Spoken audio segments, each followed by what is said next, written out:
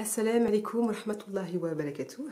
Alors aujourd'hui on est mardi 1er décembre 2020. Euh, on arrive euh, à la fin du fil conducteur euh, du, thème de cette année qui était le temps. Et ce mois-ci on va clôturer par qu'est-ce que le temps? Voilà. Et donc on va faire, on va revoir tous les textes de cette année hein, qu'on a fait sur le temps. On va faire des rappels et des échanges. Ça on va le voir pendant tout le mois de décembre. Ensuite on va faire de la grammaire. On va voir la leçon 29 conjuguer un verbe. Hein, ça, c'est en fait euh, la continuité des cours euh, de, cette année, hein, euh, fin novembre, et, etc. Ensuite, l'orthographe, leçon 42, on va voir en fait comment écrire le son S. On avait commencé fin novembre, mais là, voilà, on continue. Enfin, fin novembre, c'était hier. Hein. Ensuite, on va revoir les sons, je vous avais montré ici dans ce bouquin le tableau que j'avais fait et euh, Halia avait relu tous les sons et j'avais mis en fluo en fait pour l'un et l'autre les sons à revoir. Et euh, quand il y a deux couleurs c'est pour euh, revoir le même son pour tous les deux. Voilà. Donc du coup là on va revoir en fait euh, les sons aïe aïe oui oui aïe i oui pardon etc après on va faire des mathématiques on va faire des opérations posées addition et multiplication et puis, euh, je vais leur faire réviser les tables de multiplication jusqu'à 5. Voilà. Euh, donc, euh, pareil, comme d'hab, je vais me baser sur ces livres-là que j'avais achetés. Je vous en avais parlé hein, à la rentrée. Et là, en fait, c'est des livres que j'avais achetés tout au début de, l'IEF. Et du coup, ben voilà, je vais le garder, en fait, l'utiliser pour revoir les sons, les différents sons qui sont à revoir. Ça, c'est un livre que, j'utilise, pareil, pour, pour la grammaire. Et c'est bien parce qu'il y a plusieurs exercices hein, sur le féminin, euh, masculin, pluriel, etc. Euh, pronom personnel, bref, un peu de tout. Donc du coup, je, m'en sers. Et puis, euh, je voulais vous montrer aussi le texte que j'ai préparé. Et donc, enfin le texte, c'est pas un texte, mais voilà, dire comment je procéder pour ce mois-ci, en fait, voilà. Revoir les cours sur le temps, et d'après les connaissances acquises tout au long de l'année, définir ce qu'est le temps et établir un lien entre tous les thèmes abordés.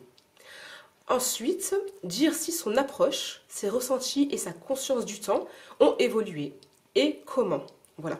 Et donc voilà, du coup là j'ai remis euh, tous euh, les, sous-thèmes en fait qu'on avait abordés. Et voilà en fait euh, à la fin du mois en fait ils devront me redire qu'est-ce que, que le temps. Et voilà là si, vous, si vous vous souvenez bien en fait c'était là le programme en fait, ma méthode à moi que j'avais fait enfin au début d'année. Hein, je vous avais montré dans la vidéo du mois de janvier. Mais en fait, elle n'est pas développée ici. Je vous la montrerai plus tard, Inch'Allah, quand elle sera aboutie, quand j'aurai vraiment euh, revu euh, et beaucoup plus euh, travaillé. Et du coup, voilà, là, on a fait tous les thèmes.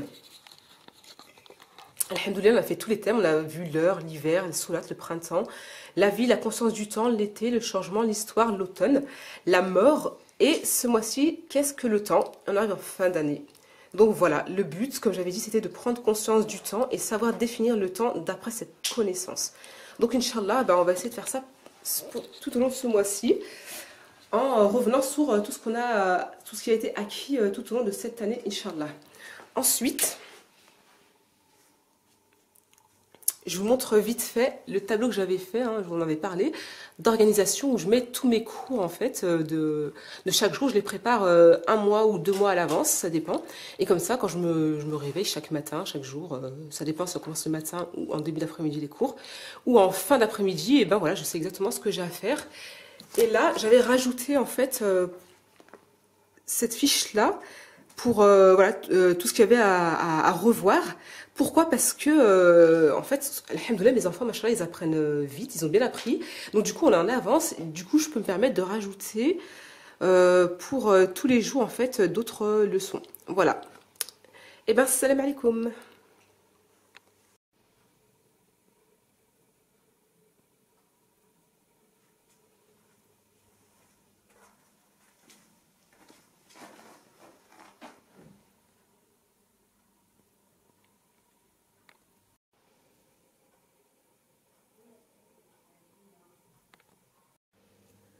Jeudi 3 décembre 2020. Alors aujourd'hui, on va faire les mêmes cours euh, qu'en début de semaine, enfin que euh, mardi. On va continuer les échanges euh, sur, on va revoir les textes sur le temps qu'on a, fait depuis le début de l'année.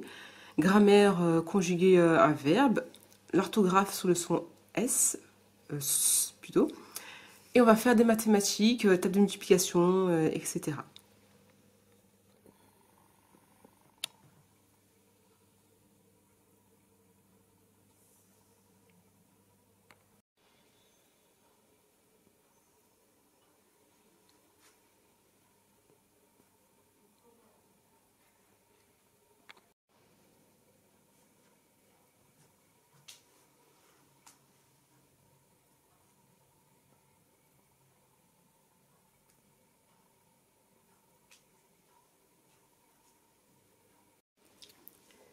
Vendredi 4 décembre 2020.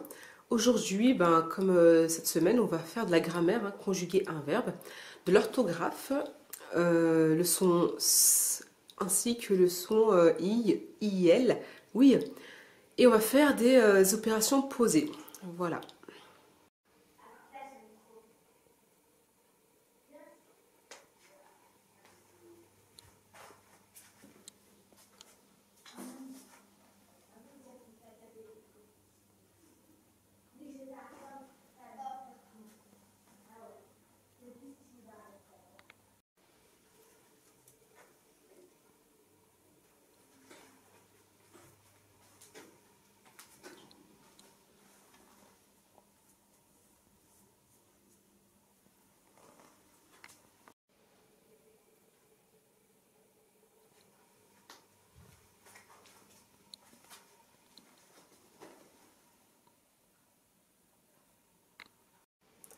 Lundi 7 décembre 2020. Euh, déjà, avant de commencer, euh, je voulais vous dire que je voulais faire en fait une visite euh, au musée aujourd'hui. du coup, bah, j'ai pas trouvé. J'ai pas trouvé parce que déjà avec le confinement, bah, c'était fermé.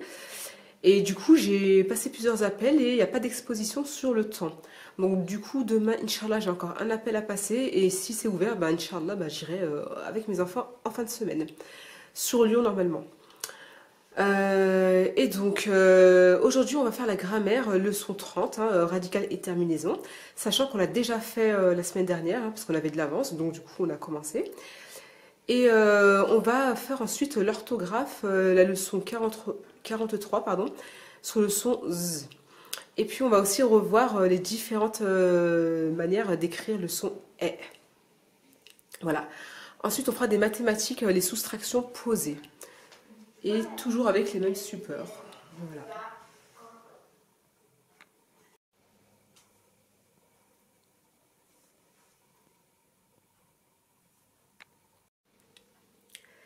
Mardi 8 décembre 2020. Aujourd'hui, alors euh, on va faire de la grammaire, hein, euh, radicale et terminaison, orthographe, le son Z, et on va faire des mathématiques euh, soustraction posée. Sachant qu'hier, du coup, on n'a pas pu faire bah, les l'orthographe et les mathématiques parce qu'on a fait juste, euh, on a revu juste les sons et et et. On a fait euh, aussi euh, bah, la, conjugaison. Et puis voilà, donc du coup aujourd'hui on va faire un peu plus de cours. Voilà. Et ah oui, et aussi à propos de, du musée, je les ai appelés aujourd'hui et du coup bah, en fait ils, rouvriront qu'à partir du 15. Donc Inch'Allah on ira au musée la semaine prochaine. Et je vous donne rien du tout.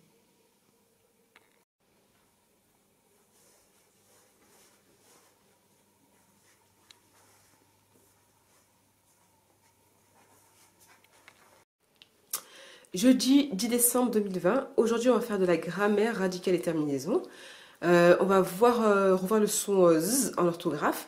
On va faire des mathématiques, hein, toujours pareil, soustraction posée. Et on va réviser les mots de... pour la dictée, ce sera les conjugaisons à revoir ici.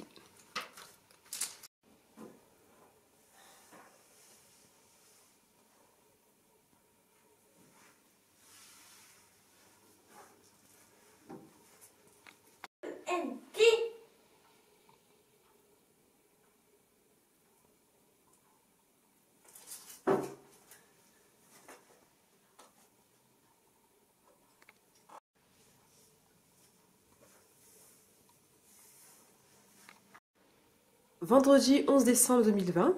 Alors aujourd'hui, on va faire encore euh, de la grammaire, hein, radical terminaison, plus des exercices.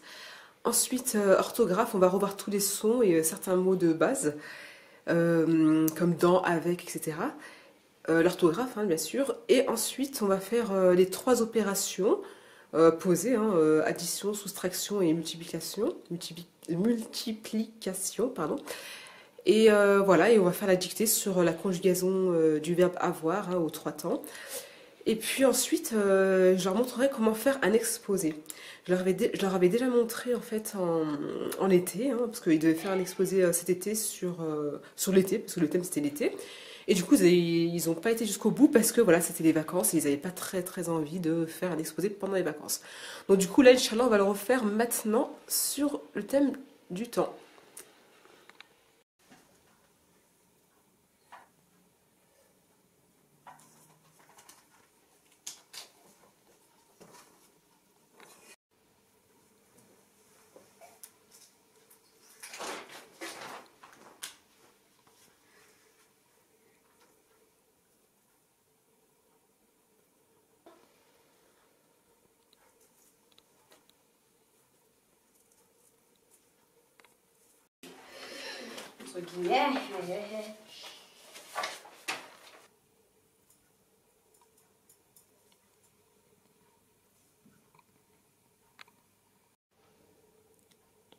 Lundi 14 décembre 2020. Alors aujourd'hui on va faire de la grammaire euh, sur le passé, le présent et le futur. Je vais me baser sur le grévis de l'école, hein, comme d'habitude. Hein. la leçon c'est celle-ci, 31. Et ensuite ils feront des exercices. Hein, sur une fiche que j'avais imprimée euh, sur internet. Voilà. Ensuite, euh, on va faire, on va commencer l'exposé euh, sur le temps. la question c'est, enfin, le thème de ce mois-ci c'est qu'est-ce que le temps? Mais c'est aussi en fait à travers l'exposé qu'ils vont répondre à cette question-là. Voilà. Et donc, pour ce faire, ils vont, Inch'Allah, pouvoir se, comment dire, se servir en fait, piocher dans les références piocher dans les, euh, comment dire, dans les cours qu'on a eu euh, cette année hein, euh, sur le thème du temps, ainsi que sur les livres qu'on a, qu'on a utilisés en fait toute cette année, hein, les saisons et histoire de temps. Il y a aussi les textes, les divers textes, il y a de tout en fait, il y a des cours, il y a des textes, il y a de tout, hein, d'accord? Donc ils vont pouvoir piocher là-dedans pour pouvoir en fait faire leur exposé. Ils vont aussi pouvoir en fait utiliser les livres qui sont ici comme vous voyez, enfin tous les autres livres aussi s'ils veulent, hein, euh, mes enfants ils peuvent euh, prendre tous les livres qu'ils veulent. Mais je veux dire là c'est surtout la bibliothèque euh, adaptée aux enfants. J'ai aussi une encyclopédie plus bas que j'avais de, de, de, enfin, de moi, de, ouais, quand j'étais chez mes parents, en fait, j'avais gardé. Et pareil, en fait, à l'intérieur, des images, il y a beaucoup d'images, donc du coup, ils pourront piocher là-dedans. Et aussi sur Internet, ils pourront y aller, hein, ils pourront aller surfer sur Internet, imprimer, hein, comme vous avez vu, j'ai une imprimante. Donc du coup, pareil, imprimer des images pour décorer leur, leur exposé etc. Et puis, euh, pareil, hein, comme on n'est que lundi, ils pourront, Inch'Allah, euh, enfin, ils pourront, euh, ouais, c'est ça, aller recueillir des informations auprès de leurs copains, leurs amis, les cousins, la famille, oncles et tantes, mes amis à moi aussi, etc., hein, peu importe l'âge, pour avoir des conseils, des informations, pour pouvoir, en fait, développer leur exposé et répondre au mieux à la question, avec les nouveaux éléments, bien sûr, de qu'est-ce que le temps. Voilà. Et puis, euh, autre chose que je voulais vous dire, c'est que j'ai acheté, euh, acheté des, nouveaux jeux. Parce qu'en fait, si vous voulez, nous, euh, on a, je vous, en avais parlé l'année dernière. Attends, là, on est en 2020, 2019. Ouais, j'ai commencé début 2019. L'IEF, ben c'est ça. J'avais fait, en fait, chez nous, si vous voulez, on a une boîte à invention. Voilà. C'est une boîte où où on met là-dedans, en fait, si vous voulez, tous euh, les éléments qu'on trouve à la maison, qui qui servent plus à rien, ou, des outils qui traînent, ou des objets cassés, on met tout dedans. Et régulièrement, on se réunit en famille, hein, euh, régulièrement pas beaucoup, mais euh, deux fois dans l'année, ou trois maximum, mais deux fois c'est déjà pas mal. Et on fait des inventions, en fait. On fait des inventions avec ce qu'il y a là-dedans. Et Cassim, il a relevé un, problème, c'est qu'en fait, euh, et c'est vrai, c'est que vu que c'était des éléments en fait qui étaient indépendants les uns des autres, et ben en fait, il y avait rien, on n'avait pas assez d'éléments pour euh, d'outils pour les, enfin de, pièces, si vous voulez, pour les assembler. Donc du coup, qu'est-ce que j'ai fait, c'est que j'ai acheté en fait cette boîte Aouchi. Et, euh, et, et, du coup, en fait, on, on l'a rajouté en fait à, la boîte à invention, mais avant, enfin mais en plus plutôt, et eh ben en fait ils ont essayé Cassim Halia de faire des robots. Donc normalement la boîte elle est faite pour euh, pour faire euh, pour construire un seul robot, mais du coup ce qui est bien c'est que en fait là déjà ils ont partagé, hein, ils ont partagé les pièces à deux. Et ce qui est bien là-dedans, et c'est ce que j'aime beaucoup en fait, euh, parce que ça rejoint en fait un peu l'esprit de l'UEF, c'est que là-dedans, les pièces, il y a beaucoup de pièces à plat. Et euh, comme ils ont partagé, ben, Cassim et Halia, ben, forcément, ils vont leur, ils vont leur manquer des pièces et à l'un et à l'autre. Voilà. Et donc, du coup, ce qu'ils vont faire, c'est qu'ils vont prendre une pièce à plat, ils vont la mettre, euh, par exemple, sur du carton ou du plastique ou du bois ou ce que vous voulez. Ils vont faire le contour et ils vont pouvoir découper. Voilà. Et à l'intérieur, il y a une pièce qui fait des trous, en fait, qui perfore, schlack, comme ça. Et du coup, euh, bah, ils vont pouvoir, ça va leur permettre d'assembler, en fait, un robot.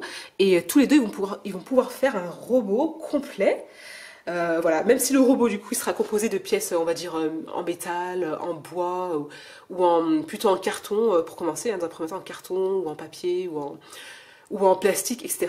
Et ben au moins ils vont pouvoir faire en fait le robot dans son intégralité avec des avec un système D quoi, voilà et c'est ça que j'aime en fait parce que même là en fait dans ce robot vous voyez j'ai choisi volontairement un robot qui marche à énergie énergie solaire hein, avec un panneau solaire euh, pourquoi je vous dis ça? Parce que regardez, euh, moi en fait dans l'IEF, je ne sais pas si vous vous souvenez euh, des cours que j'avais fait, les premiers cours en 2019. bah pareil, voilà, je sais pas si je l'ai dit, si je me répète ou si je, si je l'ai dit ou pas, bref, je, le redis.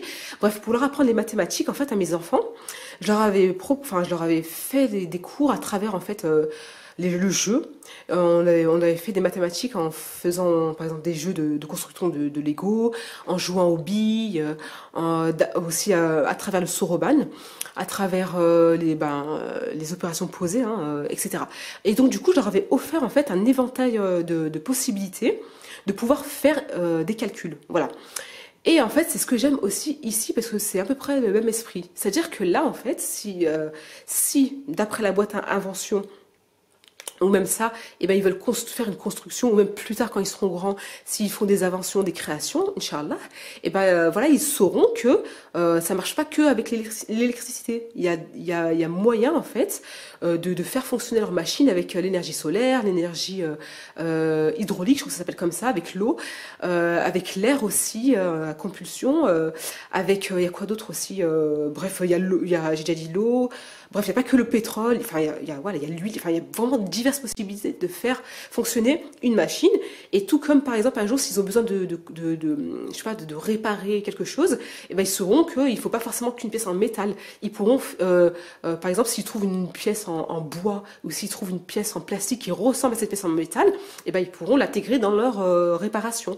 Voilà, ou bien même la fabriquer eux-mêmes. Voilà. Et donc, du coup, c'était cet esprit-là que j'aimerais que mes enfants ont et, euh, et, euh, et qu'ils ont plus de chances d'acquérir avec l'IEF. C'est vraiment en fait d'aller piocher dans toutes les connaissances, faire des liens avec euh, avec tout, toutes, toutes les matières en fait, voilà toutes les matières, les domaines, etc. En fait, qu'ils ne soient pas, surtout le truc, c'est qu'ils ne soient pas bloqués.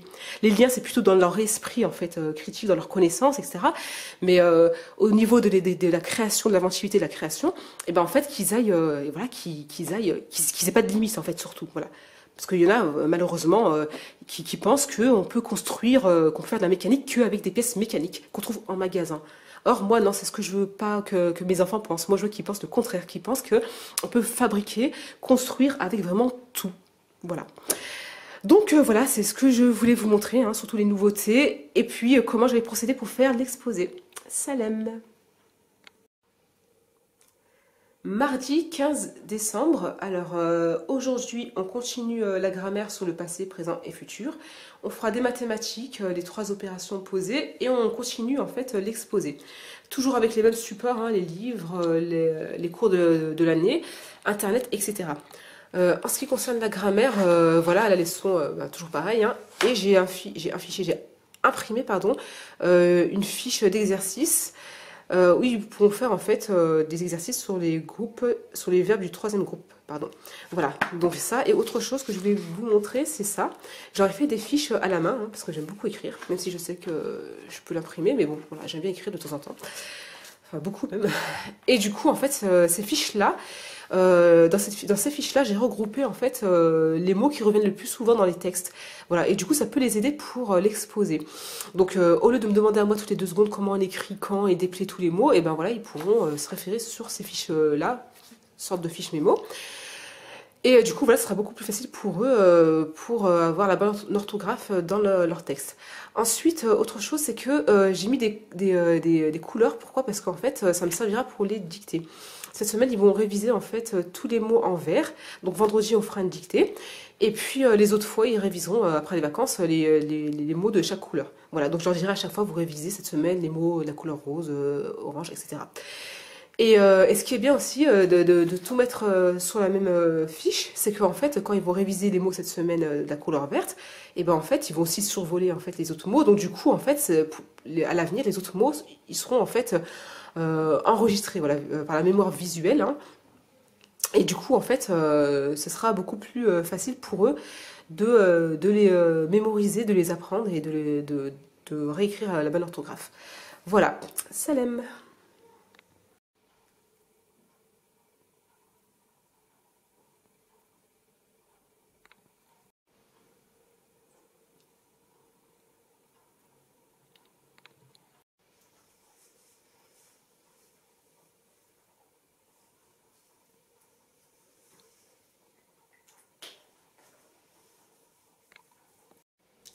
Jeudi 17 décembre 2020. Alors aujourd'hui, on va faire euh, de la conjugaison, des opérations posées et on va continuer l'exposé sur le temps. Voilà, euh, du coup, euh, aussi ce que je voulais dire, c'est que cette semaine, j'aurais dû revoir tous ces sons-là, mais du coup, j'ai zappé en fait. Donc je le ferai plutôt en début, en début à la rentrée, Inch'Allah. Voilà, c'était ça. Donc voilà. Ensuite, euh, on fera l'exposé. Euh, voilà, on va continuer. Là, ils ont commencé à faire des recherches hein, sur Internet. Et ils vont mettre, tout ça sur papier. J'aurais mis une grande feuille blanche euh, juste en dessous. Donc, Inch'Allah, ils vont commencer à mettre en place leur exposé sur la grande feuille. Salem.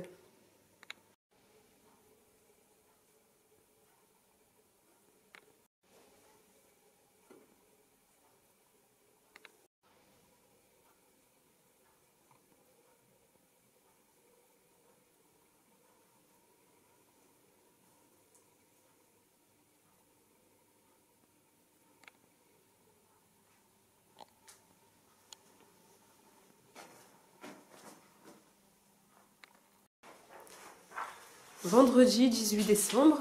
Alors euh, aujourd'hui c'est le dernier jour de cours euh, du mois de décembre hein, euh, sur le thème Qu'est-ce que le temps? Et on va faire alors de la conjugaison, opération posée, la dictée et Cassim et Halia vont présenter leur exposé. Et puis voilà.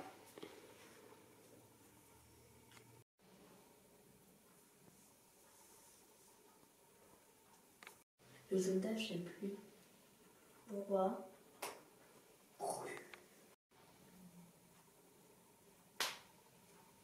Pour. Mais il est pour Oui, bien sûr. Pour.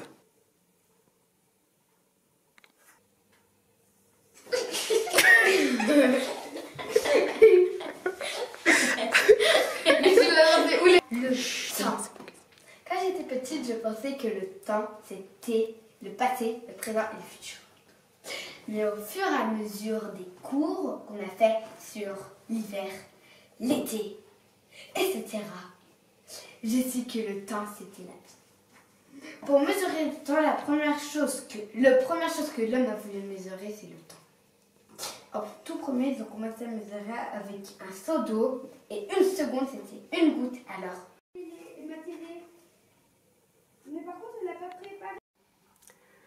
Donc voilà, on a terminé les cours sur le thème du temps. Euh, bien sûr, Inch'Allah, pour les autres années, hein, euh, il y aura un thème différent, mais euh, tout ce qu'on a acquis cette année hein, sur le thème du temps, l'heure, la conscience, etc., je les réutiliserai, hein, bien sûr, dans, les autres années. c'est pas, c'est pas parti, ça partira pas aux, aux oubliettes, pardon. Et donc, aussi en ce qui concerne ma réponse pour qu'est-ce que le temps, moi aussi, je pense comme mes enfants que le temps c'est Allah. Euh, que le temps c'est Allah. Le temps c'est Allah. La vie, le véritable vivant c'est Allah. Euh, pourquoi je pense ça? Bien sûr, euh, je le pense après en fait, voilà, avoir poussé très loin ma réflexion hein, dans mes carnets de, notes. Et là, je vais vous faire un résumé. Il y a plusieurs raisons hein, qui me poussent à dire ça. Déjà, quand Allah dit de ne pas insulter le temps parce que le temps, parce qu'il est le temps, euh, parce qu'il est aussi El Hayy, d'accord, le vivant, le véritable vivant. Et donc, euh, je mets ça en parallèle avec euh, nous, en fait. C'est-à-dire que l'être humain, quand il meurt, et eh ben en fait, sa vie, elle s'arrête. Mais c'est pas la vie qui s'arrête. C'est la vie de l'être qui est mort qui s'arrête. Donc la vie, d'accord, elle s'arrête pas parce que c'est quelque chose qui est éternel. Et c'est à part Allah qui est éternel, personne. Pourquoi? Parce que Allah, il est unique et c'est le véritable vivant. C'est le seul à être véritablement vivant. Nous, on détient une part de vie qu'Allah nous a octroyée, je ne sais pas si ça se dit comme ça, mais qu'il nous a donné. On a une part de vie. Et cette part de vie, elle va avec le temps. En fait, pour moi, c'est la même chose. Le temps, c'est la vie. La vie, c'est le temps. Le temps qui passe, c'est la vie qui passe. Voilà.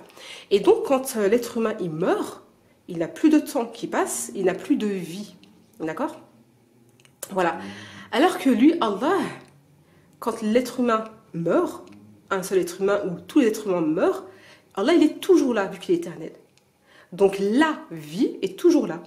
Pourquoi elle est toujours là? La vie, parce que la vie, c'est Allah, le véritable vivant, c'est Allah. Bref, euh, je me comprends. Euh, là, je vous fais un petit résumé vite fait, mais voilà, c'est vraiment issu d'une réflexion que, j'ai poussée vraiment très très loin. Et, euh, et, ça se tient, voilà, et ça se tient. Bon, bah voilà, bah, je vous dis à l'année prochaine, Inch'Allah, avec un nouveau thème et sous-thème euh, chaque mois, Inch'Allah. Euh, N'hésitez pas aussi à me partager hein, votre vision de qu'est-ce que le temps, la vie, etc. السلام عليكم ورحمة الله وبركاته الله لا إله إلا هو الحي القيوم لا تأخذه سنة ولا نوم له ما في السماوات وما في الأرض. من ذا الذي يشفع عنده إلا بإذنه يعلم ما بين أيديهم وما خلفهم ولا يحيطون بشيء من علمه إلا بما شاء. وسع كرسيه السماوات والأرض. ولا يئوده حفظهما وهو العلي العظيم.